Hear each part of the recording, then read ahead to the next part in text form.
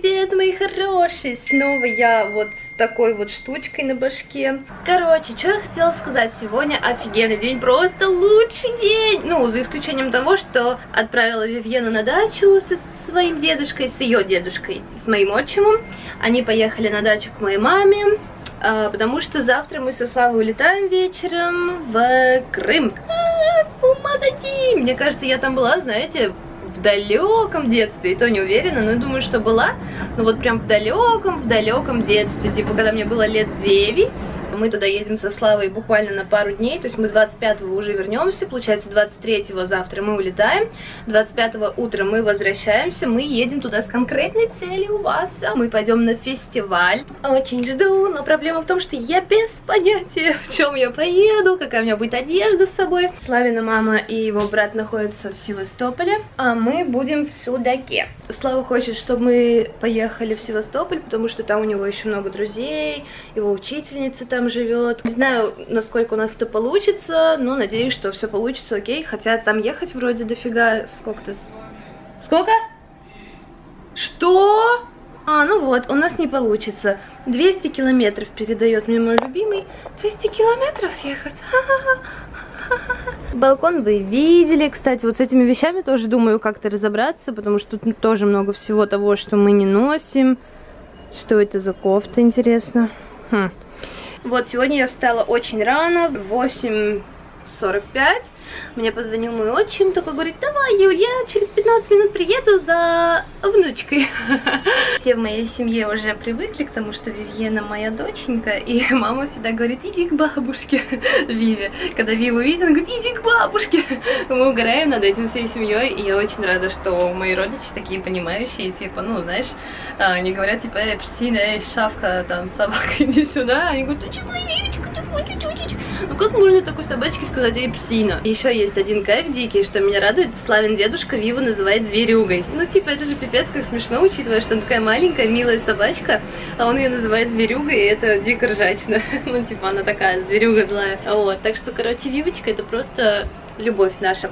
Я хотела вам показать, я не помню, показывала ли я вам картины, потому... А, Вася, какие вы внимательные, нет?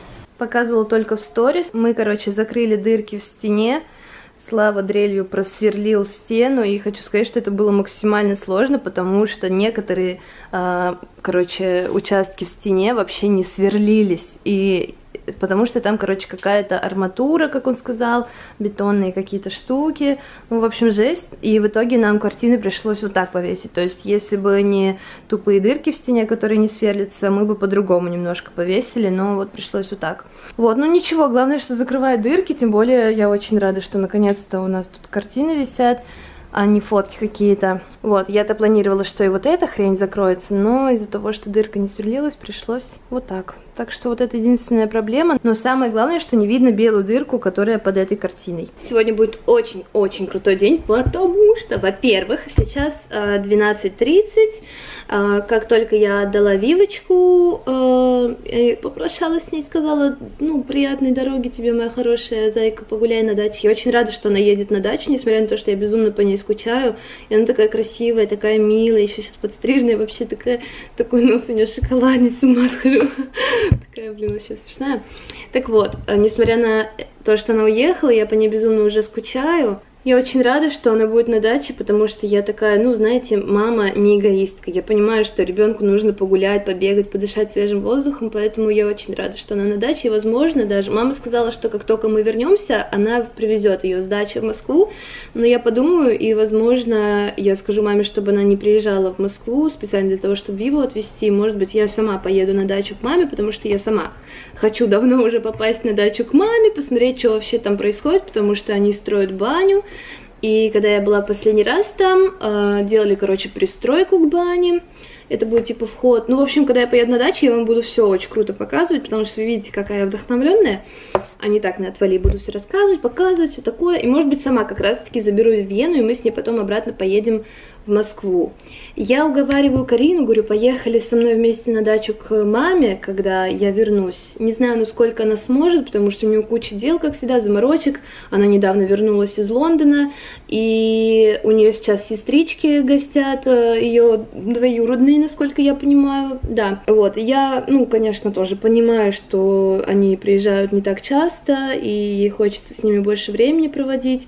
Вот, поэтому не знаю, не уверена, поедет ли она со мной, но если не поедет, то я одна поеду, потому что я давно хотела съездить к маме, плюс ко всему нам нужно с мамой снять видео про мистические истории. Я также, конечно же, я помню то, что я вам обещала, видео про права и про сны. Это все обязательно будет, но вот видите, у меня так резко поездочка появилась, поэтому немножечко подождем. Вот, но я вам клянусь, все это будет, обещаю, так что не переживайте. И не это, ну, не злитесь, короче, там. Ну, уже это близкий май. Сегодня мне будут делать ресницы. В 2.30 у меня запись. До этого нужно съездить покушать, хотя я утром уже ходила сегодня. Взяла себе кофе, круассан, скушала его. А, еще сейчас я вам покажу шторы. Боже, сколько всего нового. Прошло всего два дня и мы с вами не болтали во влогах. Обожаю влоги, какая-то девочка написала в коммент то, что у тебя такие скучные видео, типа одна болтовня в видосах, ничего интересного, ну, типа, у Карины лучше. На что я и ответила, то, что многим нравятся такие видео, просто разговорные, которые можно поставить на фон, пока ты красишься, кушаешь, убираешься дома. Я понимаю, что вы ждете от меня еще другие видео, как я и сказала, мистические истории про права, про сны, и все это обязательно будет. Сразу, как только я вернусь э, с Крыма, я буду все это снимать. И эта девочка меня расстроила тем, что я такая подумала, блин, может мне вообще тогда не снимать влоги пока что, раз, типа, они так часто выходят, и кого-то они раздражают, хотя я понимаю, что это бред, потому что только одна девочка недовольна, типа, ей неинтересно. Но если это ей неинтересно, я могу понять. Ну, типа, э, я же не деньги, чтобы всем нравиться. Вот, но остальным-то всем нравится, правда? Да, да? Я красилась, ну просто замазала прыщи. Я, правда, даже не думала, что буду сегодня снимать влог. Это опять спонтанно. Почему у меня так все спонтанно получается? Сейчас взорву свой мозг. Сейчас я сижу и переписываюсь в Телеграме с Ярославом, чуваком, который сделал мою маску первую, которая так офигенно разлетелась, разошлась, и всем так нравится. Сейчас я вам даже скажу, статистику и даже ее покажу. Вот, смотрите, показы. Это у нас количество показов этого эффекта на экране. Офигеть, да? И это считайте вообще, сколько дней прошло, как маска вышла. Ну, можно сказать, второй день. Ну, как бы два полных дня. 11, почти 12 миллионов. Снимки, это сколько раз использовали мой эффект, ну, маску. 171 тысяча. Не знаю, насколько, как это правильно считается, а репосты это количество раз, когда пользователи делали фото или видео с этим эффектом и делились им в истории в Инстаграм. Так вот, Ярослав, который создавал э, мою маску, вот его страница в Инстаграме, обязательно на него подпишитесь, можете писать ему в директ, потому что он создает маски, и как вы могли уже понять по моей маске, очень качественные, классные, хорошие, так что блогеры, начинающие блогеры, просто творческие люди или просто ребята, которые хотят свои маски, пишите ему обязательно, и он очень классный чувак, все очень адекватно понимает, все желания желания мои он понял, то что я хочу вот это, вот это, вот это, и он такой, типа, да, окей, понял, и прислал мне вот такую картинку идеальную, и сейчас мы уже работаем над второй маской, и будем даже на третьей работать. Я ему уже скидываю какие-то такие шаблоны, вариантики того, что я хочу. Тоже не хочу все карты раскрывать, потому что вдруг кто-нибудь сопрет мою идею. Но не то, чтобы там, э, я опять же таки говорю, я не придумаю велосипед, но просто я сделаю маску такой, как я ее вижу, добавлю какие-то штучки. Возможно, это не будет вот реально что-то новое, и кто-то начнет писать то, что ой, точно такая же маска у другого человека, но она не будет точно такой же в любом случае. То есть, может быть, она будет похожа на какую-то другую маску, но абсолютно другая. Ну, как это объяснить? Ну, тяжело. То есть у меня есть маски в Инстаграме, которые мне нравятся, но из-за каких-то деталей они меня не устраивают. Поэтому будем придумывать, э, будем в любом случае создавать что-то свое, эксклюзивные. Вот, это я просто к тому, что в любом случае, э, что бы ты ни придумал, это уже давно придумали за тебя. Это относится не только к маскам, так что не надо агриться, если что. Так вот, по поводу того, что я рассказывала, сегодня у меня ресницы, наращивание и ламинирование бровей. Я этого безумно ждала, э, два месяца получается, ну нет, ладно, меньше месяц, потому что прошло где-то два месяца после моего первого ламинирования бровей, и мне сказали, что нужно делать перерыв, то есть два месяца должен быть перерыв между первым и вторым ламинированием бровей, также и последующими, потому что ламинирование сушит брови, и они могут подваливаться, повыпадать, и это нехорошо, не есть хорошо, поэтому лучше делайте перерыв. Это мне неоднократно писали подписчики в Инстаграм. Ну и мастер тоже сказала, что лучше делать перерыв, хотя она мне сказала, что можно вообще типа месяц. Так что вот такие пироги. Я не крашу брови, сегодня, потому что в этом нет смысла, так как мне их будут ламинировать. И я очень жду, хочу показать вам эффект какой у нас получится. Итак, я спросила у Ярослава, который делал маску, который разбирается во всех этих моментах, почему у некоторых людей маска не отображается, не остается в профиле, э, слетает, либо где-то в конце. Э, и он мне написал вот что. В большинстве случаев это из-за того, что человек подписан на большое количество блогеров, у которых есть маски, и лента с масками просто перенасыщена, и порой выкидывает маску в самый конец или вообще не показывает. Поэтому вам, если вам так понравилась моя маска, вам придется сделать выбор. Либо от кого-то отписаться, либо, может быть, отпишитесь на пару дней от кого-то, чьими масками вы не хотите пользоваться, либо не пользуетесь, они там не ваши любимые, например, останьтесь подписанными на меня, и через пару дней подпишитесь снова на того человека, например. А, может быть, таким образом моя маска останется у вас в начале, а блогер, у которого другие какие-то маски, они будут где-то в конце, либо не будут у вас показаны в ленте. Вот как с моей маской происходит. Я, честно говоря, не знала, что такое вообще бывает, но это логично, потому что у меня тоже как бы много масок всяких, от одной только Лены Темниковой, их штук, блин, 20, мне кажется. Вот, и, конечно, я ими всеми не пользуюсь, мне столько нафиг не надо. Вот было бы удобно, если бы можно было реально, э, вот, например, если на кого-то подписан, и у него, например, 10 масок, выбирать только те маски, которые тебе нравятся, которыми ты пользуешься, чтобы вот такого не было с другими людьми, на которых ты подписан, например, из-за масок, грубо говоря. Поэтому тупо-тупо, так что, не знаю, попробуйте ради меня и ради того, чтобы пользоваться моей масочкой, если она вам действительно нравится. Ну, а кому пофиг, то забейте вообще. Вот, но моя маска у меня, кстати, в начале, хотя причем она не сразу была прям в самом начале, она была где-то на пятом месте, потому что первые маски у меня вонючие от Инстаграма, которыми я не пользуюсь, меня это так раздражает. Вот маски от Инстаграма тоже, извините, нафиг мне не нужны, как их убрать?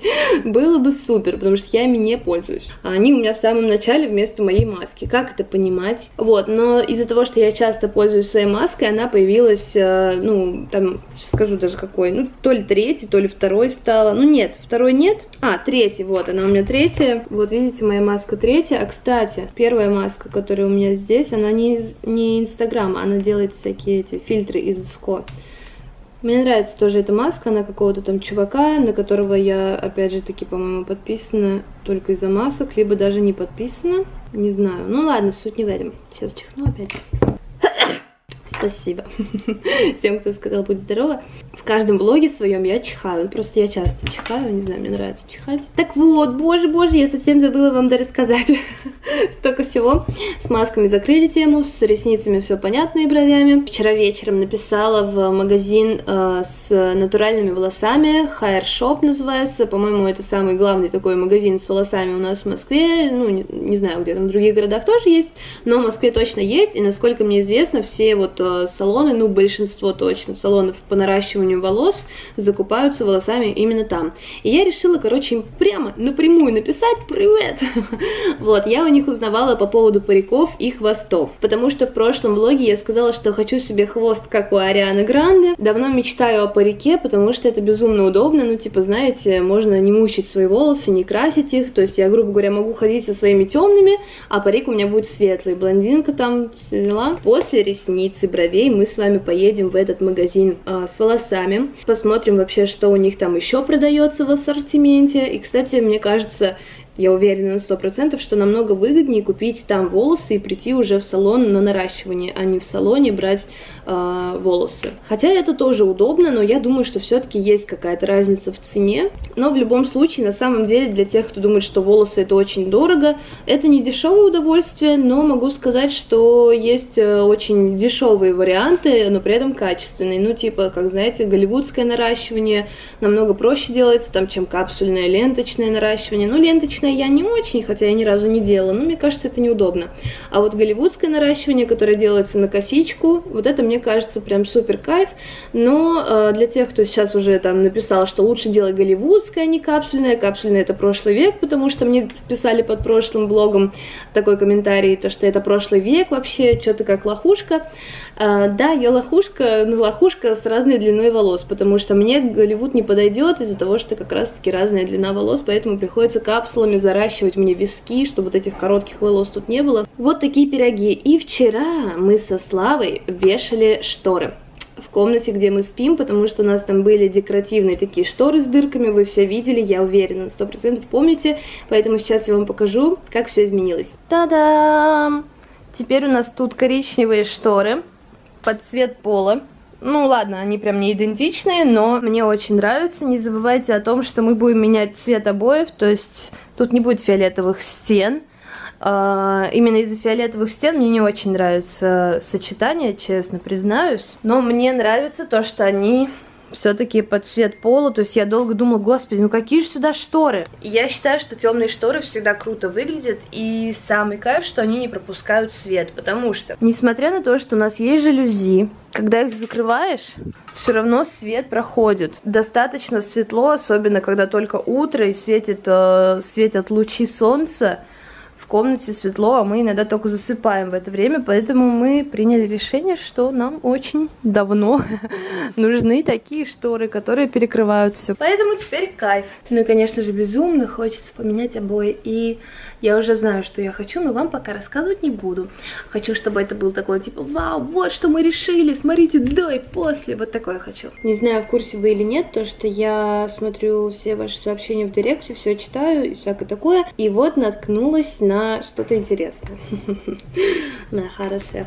Какая-то девочка, видимо, которая, ну, очень несчастлива в своей жизни, пишет мне такую гадость. Она отвечает на мою историю. Это, это я зашла в самое начало переписки с ней. Тут у меня солнышко. И такая подпись. Мое солнышко, так скучаю по своей доченьке. Бабушка и дедушка Вивы присылают фотографии. Ну, вы знаете то, что, ну, мне нравится. Даже если, я же, конечно, прекрасно понимаю, что она как бы не моя дочь, там, типа, я ее не рожала, да, вот это вот все. Я понимаю, что она собака, а не человек. Но я ее настолько сильно люблю, что если бы она была моей дочкой, если бы я была ее собачьей мамой, например, либо она моим человеческим ребенком, я была бы безумно рада, потому что она замечательная собачка. И я могу понять всех людей, которые э, бесятся, когда вот э, я что-то такое говорю, то, что я очень сильно люблю свою собаку, это моя доченька, моя пусечка. Я прекрасно понимаю людей, которые на это негативно реагируют, потому что я сама раньше, до того, как у меня появилась собака, хомяк, э, которого нет с нами, э, каждый раз это повторяю, упоминаю, упоминаю, потому что люди до сих пор спрашивают, где хомяк. Вот, и пока у меня не появились свои животные, я всегда, когда видела у кого-то истории, либо фотки, типа, это мой любимый хомячочек, я так люблю свою, я так люблю свою собачку, мою кошечку. Я всегда думаю, боже, какие вы конченые, какие вы тупые, это же животное. То есть я вам клянусь, я была точно такая же, но как только у меня появилась э, своя собака, свои животные, это такая любовь, которую ты не можешь понять, пока у тебя не появятся свои животные. Я уверена, что мои подписчики, у которых есть животные, любимые питомцы, они меня прекрасно понимают, что ты безумно любишь своего маленького пушистика. Или там не пушистика, у кого там, если не пушистые собаки или кошки, или там э, хомячки какие-нибудь. Короче, вы поняли, о чем я говорю, поэтому я я понимаю, что людям это может не нравиться, но это не значит, что я должна спокойно реагировать на свою собаку, типа, ну, это моя собака, типа, бегает тут, псина моя. Нет, Она мое чудо, она мой просто млечный путь, звезда моя. Так вот, и девочка отвечает, боже, какой бред, какой доченьки, это собака вообще-то, какие бабушка и дедушка, куда мир катится вообще? И у нее типа башка взрывается, такие смайлики. Потом я записываю сторис, где рассказываю о том, что ко мне пришли убираться домой. Ну-ка, что тут я говорю? И да, по поводу глобальных уборок, действительно, это очень удобно вызывать клининговую компанию, потому что, конечно, я и окна могу сама помыть. Короче, э, вы знаете то, что иногда ко мне приходят из клининговой компании, э, наводят чистоту дома. Конечно, я это не делаю там раз в неделю, даже раз в месяц, это там раз в два месяца не делаю. То есть это бывает, ну, редко достаточно, но иногда по кайфу, типа, когда тебе всю хату отмыли, а ты ничего не делал в этот момент, либо занимался своими другими делами, это приятно. Когда ты такой приходишь домой, ой, все чисто, а я даже не надрывалась там, не возилась в воде несколько часов, пока все мою. Короче, вы поняли, в любом случае, типа, нет в этом ничего такого вызвать клининговую компанию. Это, наоборот, кайф. Несмотря на то, что я всегда везде кричу то, что я там люблю убираться, да, это так. Но еще я больше люблю, когда дома просто чисто, а я, например, ничего не делаю. Ну, это тоже кайф. Ну и вот. И эта девка отвечает – да ты и так живешь сама для себя, поубирать прям не можешь, а что только старые могут убирать, а молодые немощные. Я вообще не поняла, просто какая-то неадекватная. Сегодня я выставляю сторис, на который она также отвечает. В сторис я говорю, типа, спасибо вам большое за то, что используете мою маску, мне так приятно. Я просто в шоке от того, что мой директ завален, так много видео вы присылаете с моей маской. Ну, то есть, вот такие слова радости у меня там, благодарности. На что девка отвечает – о боже, это самое важное в жизни, маска в Инстаграме. Каждый день об этой маске будешь говорить. Этой девке я хочу сказать, да, пошла ты в жопу. Ладно, я не буду каждый день об этом говорить, но у меня недавно вышла маска, и сейчас, ну, типа, это на такой волне среди моих подписчиков. Мне все присылают, пишут. Конечно, я не могу не сказать э, в истории спасибо вам большое за то, что вы такие классные, активные, и то, что вам нравится. Мне приятно. Почему я должна об этом умалчивать, сумасшедшая скотина? Так что пошла в жопу. Вот такой у меня стилек сегодня в костюме, который такой, типа, пипец объемный. Я как этот старш, э, я как младший брат, который донашивает э, костюм за старшим. И запомните Славу вот таким. Да, запомните меня таким. У меня четыре стрижка сегодня. Покажи со всех сторон. Да-да-да, you never see me again. Все, таким вы меня никогда еще не увидите уже. Я пойду постригусь и стану совсем другим человеком. Что еще расскажешь, мой милый? Ты переживаешь, я сегодня приеду, либо у меня будет хвост накладной с настоящими волосами, либо я буду в парике. Ты не боишься, что не узнаешь меня? Я уже ничего не боюсь. Помнишь, когда я домой пришла с черными волосами? Когда я зашла в квартиру, Слава не видел меня еще, он из комнаты крикнул «Привет, зайка!» А потом он такой выходит, видит меня с черными волосами и говорит, ты не моя зайка. Я это запомнила. Это было так смешно. Ладно, расскажи, какой цвет волос на моей башке тебе больше всего нравился за времена моих экспериментов? Все. Все? Да. Типа ты любишь меня любой? Не, просто все прикольно смотреть. А какой э, не идет мне больше всего? Желтый. Я просто от балды назвал цвет. Ай, те, которые у меня были. А, да тебе все идут? Ах ты ж мой милый. Ну, светлый идет, темный идет, чернявая, ты тоже вообще. Муа, Бомбита. Тест пройден. Какой тест? На добропорядочность. Все, чау, какао. Даже не поцелуешь свою принципессу? Не надо паники.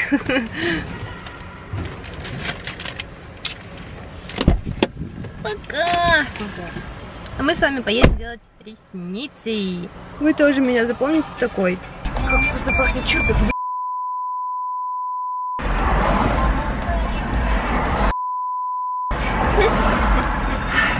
Больше всего на свете на дороге я ненавижу таксистов. Это самые тупые просто. Ну, понятно, не все.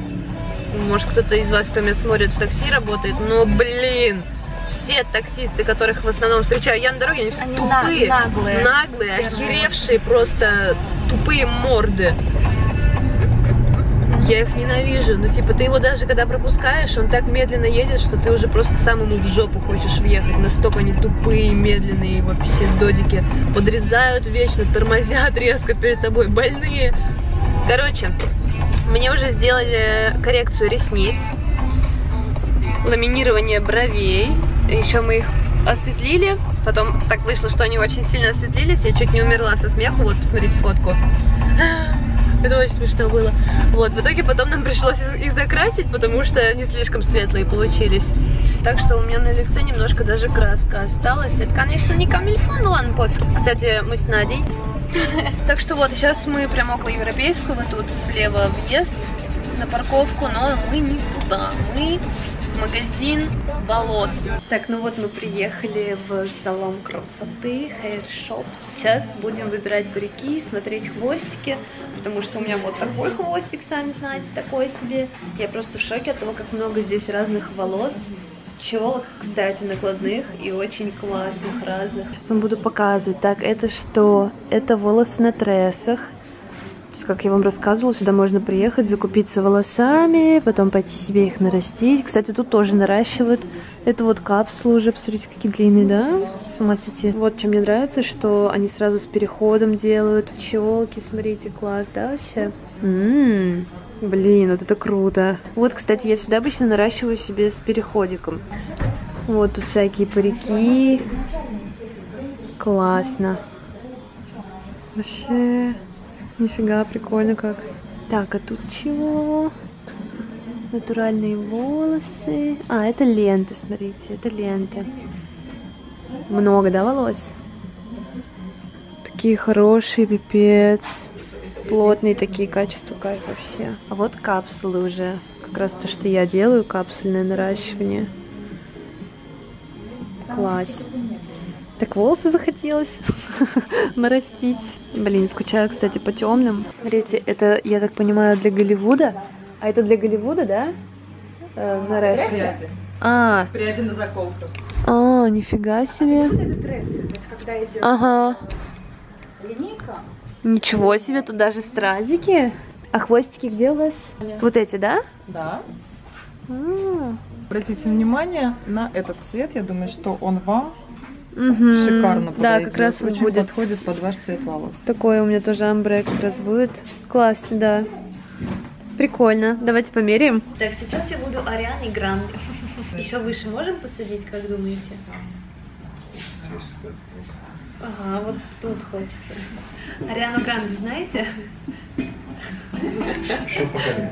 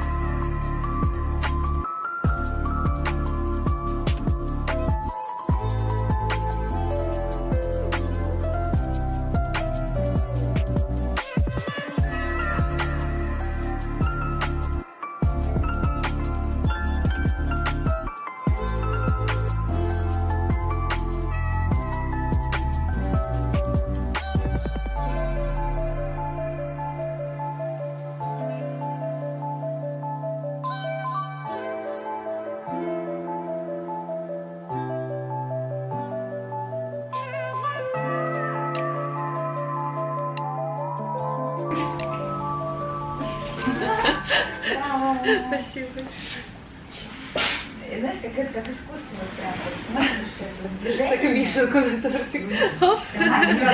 Спасибо. Спасибо большое. Я вылитая Ариана Гранде.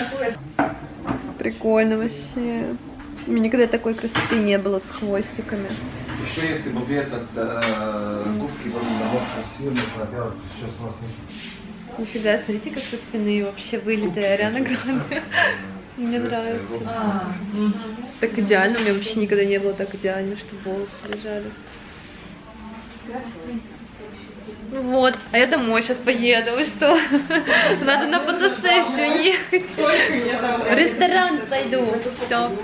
Спасибо большое. Давайте похлопаем мастеру нашей Спасибо. Спасибо большое. Круто, девчонки. Так что хотите быть тоже Арианой Гранде, приходите. Вы знаете, куда приходить. Итак, ребят, уже новый день. Сегодня мы улетаем в 7.40, сейчас 2.43. Времени не очень много, но все-таки я снимаю это видео. А в поездке я не буду снимать видео, это я решила сейчас. Вот, поэтому следите за моим инстаграмом, в моих сторис все буду показывать, рассказывать, болтать с вами, возможно, проводить трансляции. Вот, так что буду много-много снимать. Сегодня было ужасное начало дня, потому что мы должны были со Славой встать в 12.30, чтобы спокойно все собрать. Как мы хотели, спокойно встать, все собрать с кайфом, но в итоге утром рано до 12 начал сверлить какой-то тупорылый сосед, сука, как же я их ненавижу. Вот почему нельзя начать сверлить попозже, ну хотя бы в 2 часа дня, ну типа черт, почему надо это начинать в 9 утра делать? Пятницу, в пятницу. Ужас. Ну, короче, ладно. В общем, не дал нам нормально поспать, нормально встать. Так что буду сейчас собираться очень быстро. Хочется еще успеть сегодня покушать, сходить куда-то, но я в этом дико сомневаюсь, поэтому... Мы полетели, надеюсь, что все пройдет замечательно. Следите за моим инстаграмом и спасибо, что смотрели это видео. Всех люблю, целую, обнимаю и всем пока.